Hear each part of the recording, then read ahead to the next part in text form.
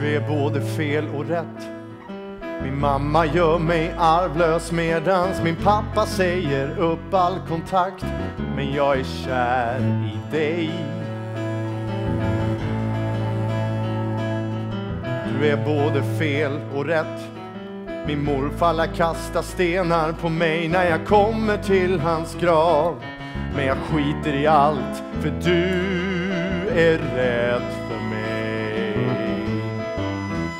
Om du var fetischist, ja så vem bryr sig om ditt hår vore grönt, vore du cool? Om du vore gravmytoman eller skadnyfoman eller tvättar dig i din toastol sa jag wow, du är fantastisk, mitt liv har börjat nu. För du, hej, hej min gudinna, jag har väntat på någon som du.